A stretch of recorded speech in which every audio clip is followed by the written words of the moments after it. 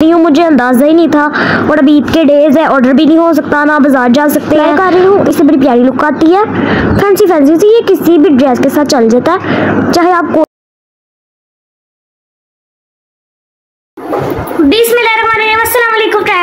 कैसे आप सब? उम्मीद करती हूँ आप सब ठीक होंगे। मैं बिल्कुल ठीक हूँ।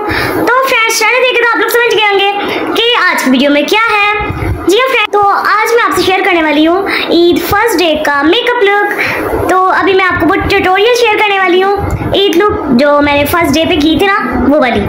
तो चलिए कैमरा ज़रा पहले पास कर लेती हूँ। उसके बाद फिर करते हैं मेकअप तो चलिए जी फ्रेंड्स स्टार्ट करते हैं। और यहाँ पे सामने ना मैंने मिरर भी सेट कर दिया। साथ साथ तो मैं कैमरे में भी देख रही हूँ फेस को, लेकिन मैं साथ साथ ना मिरर में भी देख लूँगी।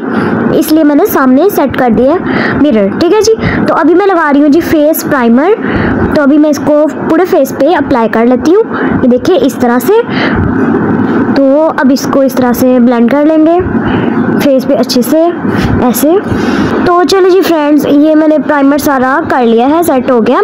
तो अभी ना फाइव मिनट वेट करते हैं फाइव मिनट तक तक ये सेट हो जाए। ठीक है जी? चलिए जी फ्रेंड्स फाइव मिनट डन हो चुके हैं। और अभी मैं लगाने लगी हूँ जी फाउंडेशन ये वाली बीबी क्रीम है। तो आप कोई भी अच्छी सी फाउंडेशन यूज़ कर सकते हैं। वैसे मैं यही यूज़ करती हूँ। तो इस तरह से मैं पूरे फेस पे इसको भी अप्लाई कर लेती हूँ। ये देखिए इस तरह से। और अब इसको अच्छे से ब्लेंड कर लेंगे ब्यूटी ब्लेंडर की हेल्प से। ये देखें ऐसे और ये मेरी ना ईद की वीडियो है। मैं ना ईद पे ब्लॉग भी स्टार्ट किया हुआ था और साथ साथ मेकअप ट्यूटोरियल भी शूट कर रही थी। तो इतना ज़्यादा टाइम लग गया था और इतनी मेहनत भी लगी थी और मैं बहुत ज़्यादा थक गई थी। और मुझे ये भी था, अभी मैंने ब्लॉग भी बनाना है। तो सच में फ्रेंड्स वैसे मेकअप करना हो ना तो जल्दी हो जाता है, ज़रा आसानी हो जाता है। लेकिन कैमरे के सामने और इस तरह तो मुश्किल होती है ना फिर।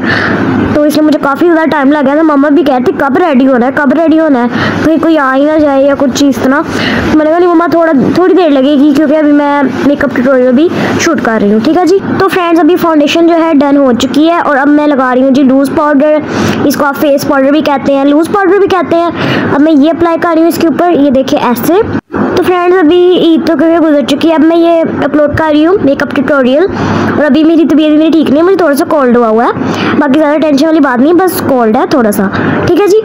तो चलिए जी, अब लगाते हैं सबसे मुश्किल चीज़। क्या हो सकता है? जी हाँ लाइनर तो ये बड़ा मुश्किल होता है लगाना। एक आइस पे अगर प्यारा सा सही लग भी जाए ना, लेकिन दूसरे आइस पे तो ख़राब होना ही होता है। लेकिन मैंने इतनी दफ़ा लगाया ना, मुझे थोड़ी बहुत तो प्रैक्टिस हो गई है। लेकिन कभी कभार ना, मुझसे भी मिस्टेक हो जाती है। ये टेंशन वाली बात नहीं है आहिस्ता आहिस्ता आ ही जाता है। और कभी कभार मिस्टेक भी हो जाती है कह खैर, कोई बात नहीं। तो मैं इस तरह से लगाती हूँ।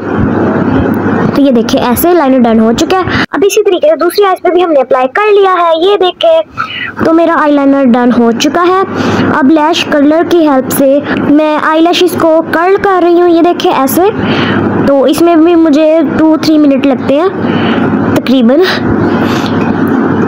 और ये देखिए, मस्कारा मस्कारा मैंने देखा है चेक किया है, अंदर से ख़त्म हो चुका है। तो मेरे पास मस्कारा भी नहीं है, जो रूखा सूखा है, उसी को अप्लाई कर रही हूँ, मुझे अंदाज़ा ही नहीं था।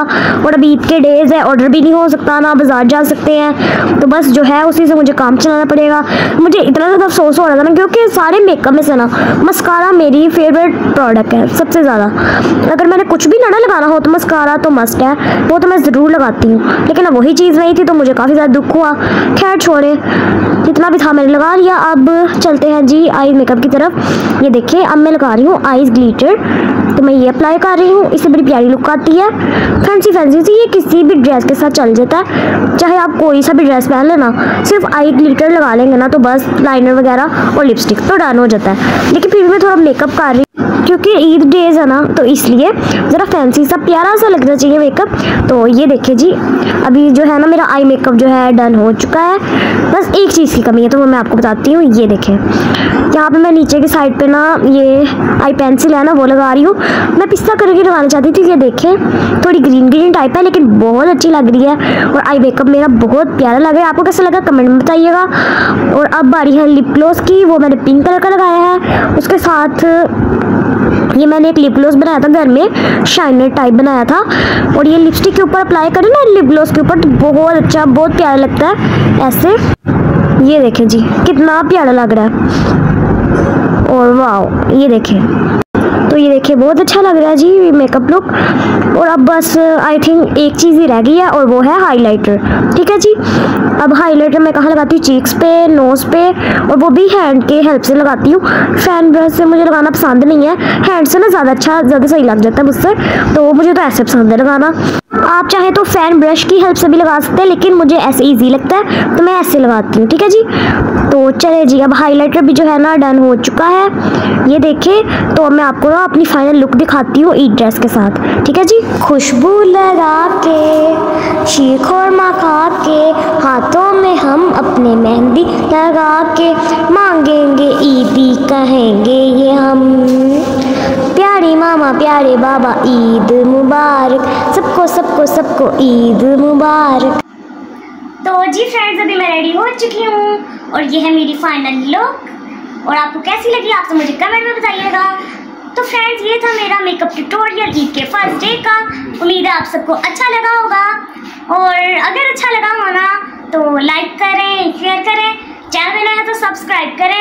बेल आइकन प्रेस कर देना ताकि मेरे आने वाली वीडियो का नोटिफिकेशन आप तक सबसे पहले पहुँच सके। तो जी फ्रेंड्स मैं मिलती हूँ इन आपको मेरी नेक्स्ट वीडियो में। तब तक के लिए लेकर आए।